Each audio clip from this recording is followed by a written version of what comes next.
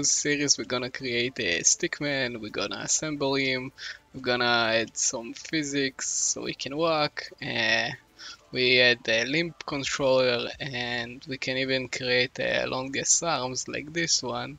So you can do whatever you want with it.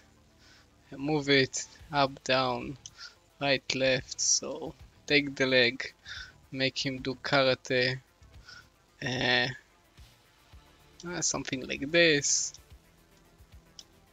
Uh, want to make him walk on one hand? You can do it. Just put the leg here and add some fucking force and you've got this. So yeah, he's gone. So in this part we're gonna create the ragdoll and just I assembled the stickman so let's get started.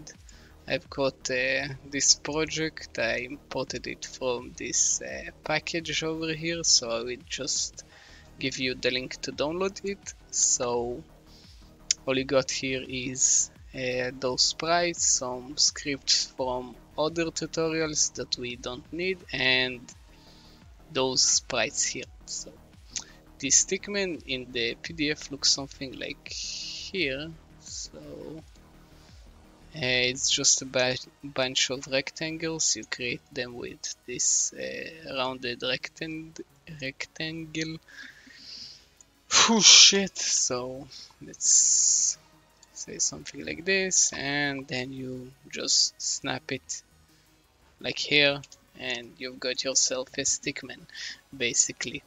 Now to export it I just uh, made export and layers to files. You choose where to actually export it and make it a trim layer and transparent and basically this is it. So now let's actually assemble this stickman so uh, here in the models we've got those sprites. So let's put the head here. Let's connect a neck a body um, arm. You can actually make it uh, more precise but whatever. Uh, another leg. Now create an empty object. Let's it call it main body. And connect everything? Now uh, for the main body we want a rigid body so uh, this body would actually be the real rotations and stuff. So for the body here let's make fixed joint and connect it to our uh, body. Wait I mean uh, the main body. Like this now for the neck, we would do a hinge joint and for every other part we do a hinge joint. Let's connect it to the body.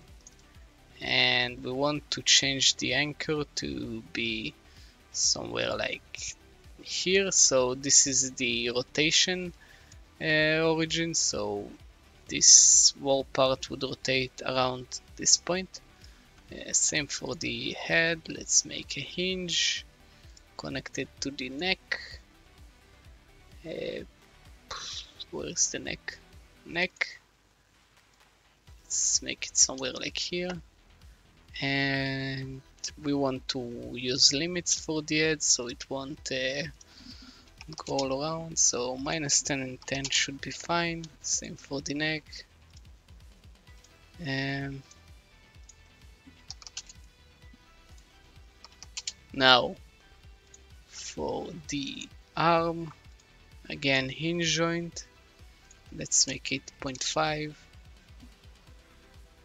I should be fine. Now,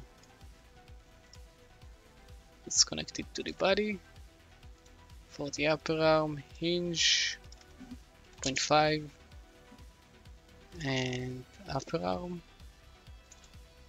For the leg, same thing. Hinge 0.5 on the y-axis and the body and for the leg again. But now we want the upper leg. Now 0.5 here. And now we've got a ragdoll uh, working except uh, no colliders so let's just add colliders and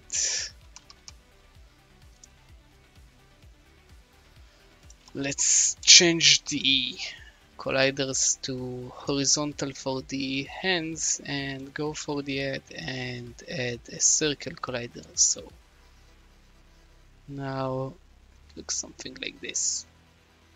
Okay now we just want uh, two arms so duplicate it go for the legs duplicate it and now we've got your stickman like this one. Now now we want to make him ignore his own body so let's create a new script. Let's make it a ignore collision.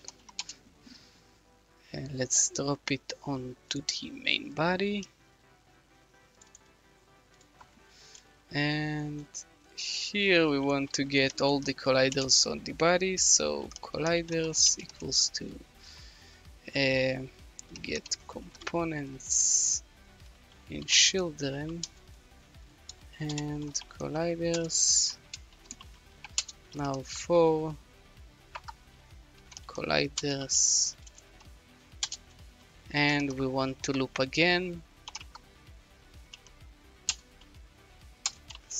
so here we can start with i plus 1 and we need to make physics ignore collision uh, colliders i and colliders.